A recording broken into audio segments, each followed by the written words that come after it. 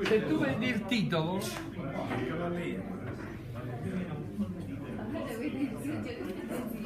A parte che ha scritto parecchi libri. scritto libri, ma non solo ha scritto libri, ma lui però l'esercito che difendeva, difendeva il